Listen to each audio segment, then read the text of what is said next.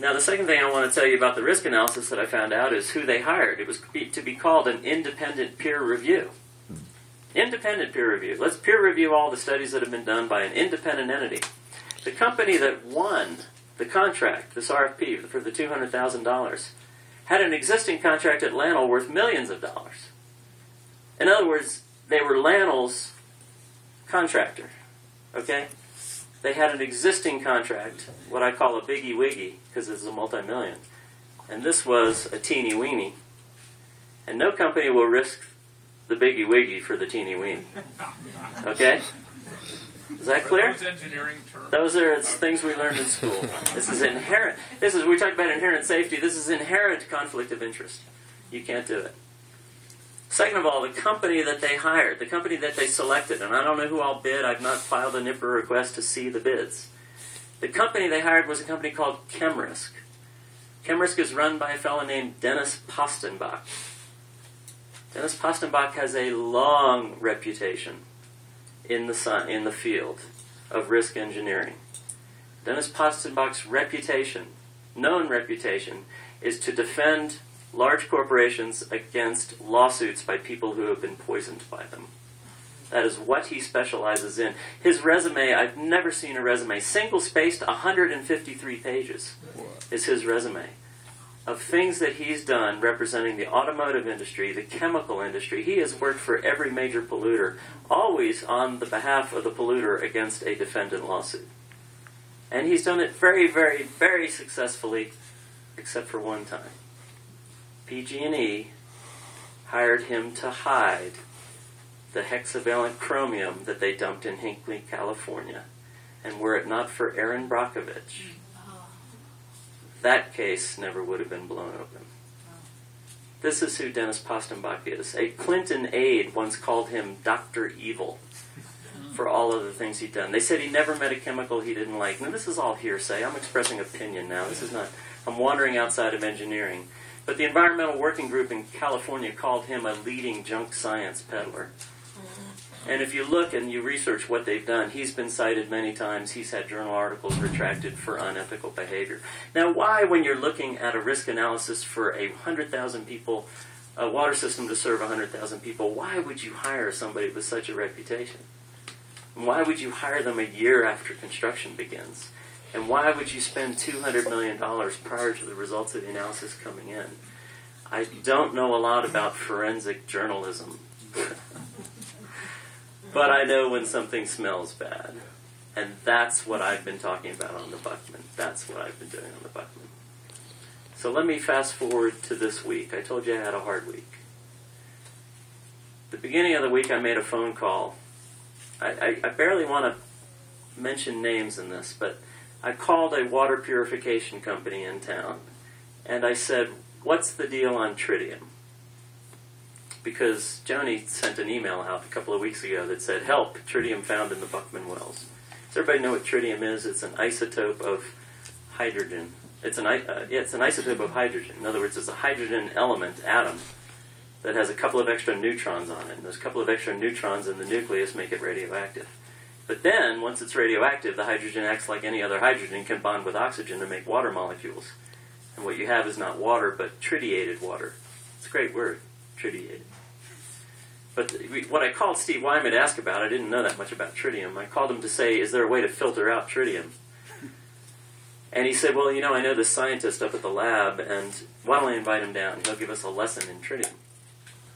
He'll, he'll just come down here and teach us about it. He'll go to the blackboard. He's amazing. He's not a company man.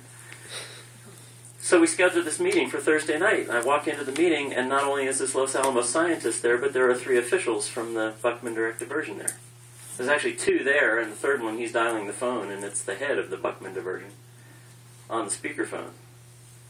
You know, I went to a meeting that I thought was my little, you know, I'm a, I'm a, I'm a scientist, and I'm going to a classroom meeting to talk about the science of tritium, and instead, I've got officials from the Santa Fe shoving documents under my nose showing me there's no problem with tritium. It's like, it's not really why I'm here. But it stunk. It stunk to me. I was offended. I, you know, and I called the fellow up the next day and I said, first of all, don't ever do that to me again. And second of all, I would have prepared entirely differently if I'd known I was having a meeting with officials. You do different things to prepare for those meetings. At any rate, they continue to shove documents under my nose showing me that there's no problem with tritium. So, you know, I complain that, you know, the correct documentation on the tritium. First of all, let, let, let's look at the history of the tritium detect. The tritium detections were March of 2011. There was no letter from LANL suggesting a possible problem for five months after that tritium detection. When the samples come in, March 14, the samples were taken. When the samples come in, it's imperative that the laboratory do an analysis immediately. Mm-hmm. So the analysis was done on March 15 and 16 and 17. And for five months, there was no mention. And when there was a mention after five months, it was in a letter that pointed out a discrepancy. Not a tritium detect, a discrepancy. It was another two and a half months before LANL wrote a letter to Santa Fe Buckman personnel describing a, uh, a result, an actual result that showed a high tritium reading. Seven, we're at seven and a half months out now. At eight months, uh, an official from Santa Fe writes a letter back to LANL with a series of questions on why did it take so long and what the hell's going on over there. LANL waits another month and writes back an explanation. And here's the explanation after nine months. All of you speak English, right? The laboratory identified the two tritium detects on the March 14, 2011 sampling event as elevated compared with previous results immediately after pulling the data from the laboratory's database. The laboratory requested that an analytical review that an analytical laboratory review the data packages to ensure the accuracy of the results. However, the review was not completed before the 120 day deadline for releasing the data to the public or posting it to the database. Say what now? Basically, all they all they did all they just did was admit that they blew a deadline, a 120 day deadline, a four month deadline. The August 16, 2011 letter reporting the March 16, that's the wrong date, sampling, March 14, should have said, sampling event did identify a discrepancy between the March 14. See, this is five months later, they're admitting a discrepancy. Between the March 14 sample analyzed and previous results analyzed by this other laboratory. So now they're comparing the March 14 anomaly to a previous test that's not even in question. I don't know why they're talking about it. The discrepancy was attributed to differences in each laboratory's minimal detectable activity and counting uncertainty.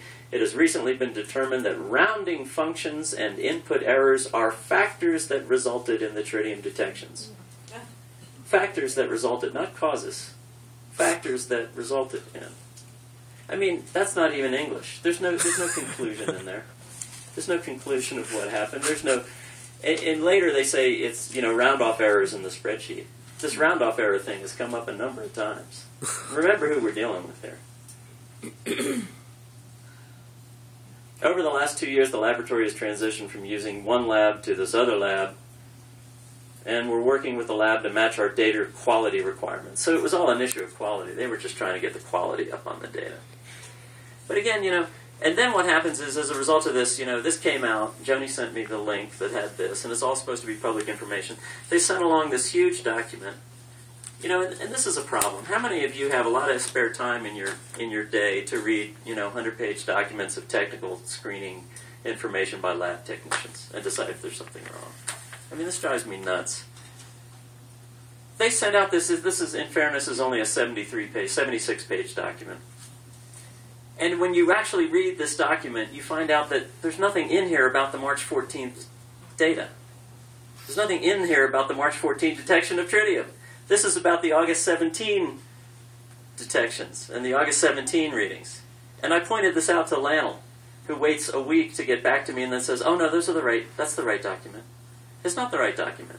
I want the lab sheets from the technicians from the March 14th date." So this is the kind of round and round you get. And whenever you ask a direct question, if you point out that one and one is two and somebody disagrees with you, there's a problem. It's a problem other than the one you're talking about. If you ask a simple scientific question, you show up to a meeting and there are several officials there trying to convince you that and, and discredit you and convince you that you're wrong, there's something wrong. Something's going on. So here's the current condition on the Buckman diversion. This this tritium detector